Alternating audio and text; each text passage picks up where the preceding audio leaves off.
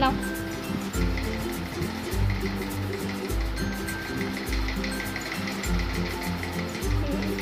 মুখের হ্যাঁ করো ইয়াম্মি বলো Yummy. এই ক্যামেরার দিকে তাকিয়ে Yummy.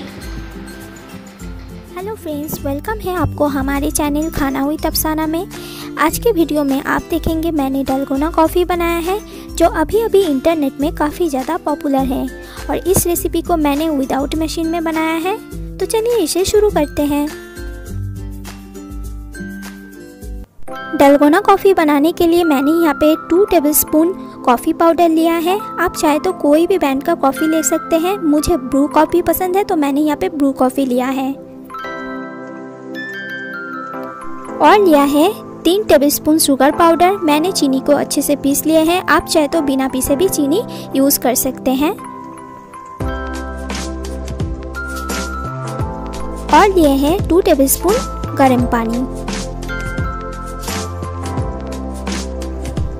तो व्हिप कॉफ़ी बनाने के लिए मैंने यहाँ पे एक बाउल लिए हैं और इसमें डाल देंगे दो बड़े चम्मच कॉफ़ी पाउडर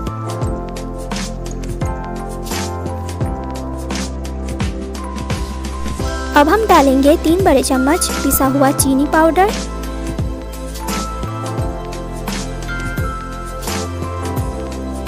और लास्ट में डालेंगे दो बड़े चम्मच गर्म पानी। अब हमें कॉफ़ी को अच्छी तरीके से हैंड विस्कर से बीट कर लेना है।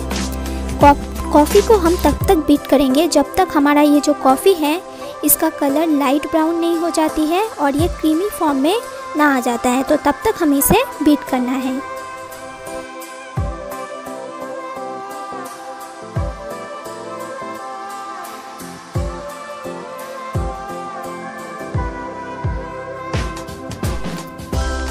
दोस्तों, देखिए धीरे धीरे हमारा कॉफ़ी का जो कलर है धीरे धीरे चेंज हो रहा है और क्रीमी फॉर्म में भी आ रही है, ये देखिए।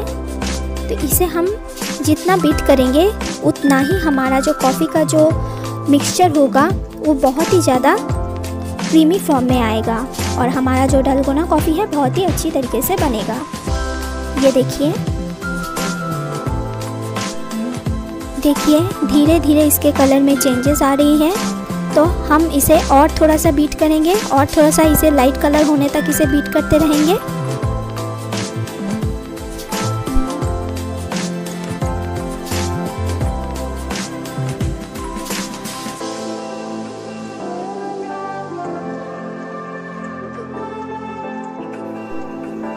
तो दोस्तों, हमारा कॉफ़ी का जो मिक्सर है एकदम से रेडी हो चुकी है, ये देखिए।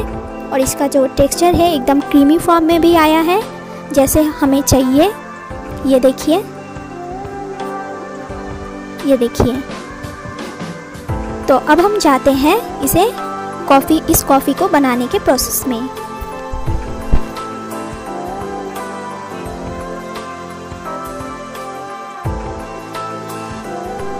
तो मैंने यहाँ पे एक ग्लास लिए हैं और इसमें दो चार आइस क्यूब डाल देंगे एकदम बेस में। और उबाल के रखा हुआ, ठंडा किया हुआ मैंने दूध रखा था तो उसे डाल देंगे।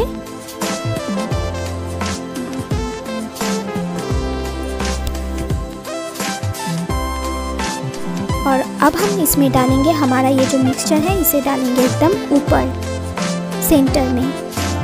तो ये देखिए।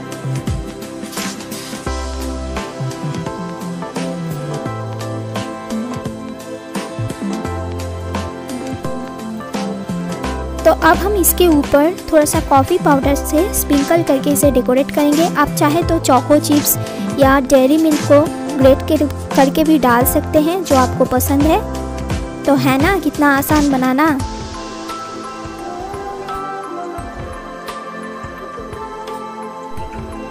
तो दोस्तों, हमारा सुपर टेस्टी डलगोना कॉफ़ी बनके तैयार हो चुकी है। आप देख सकते हैं कितना यम्मी लग रहा है दिखने में।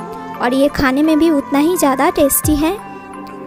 तो दोस्तों, आप लोग इस रेसिपी को घर पे ज़रूर ट्राई करें और अगर आपको आज की मेरी ये रेसिपी अच्छी लगी होगी तो प्लीज़ आप मेरे इस रेसिपी के नीचे लाइक का बटन क्लिक करें और मेरे चैनल को अगर अभी तक आपने सब्सक्राइब नहीं किया तो प्लीज़ प्लीज़ दोस्तों, जल्दी से सब्सक्राइब करके पास में जो बेल आइकन है, उसे प्रेस कर लें ताकि आप तक मेरा वीडियो सबसे पहले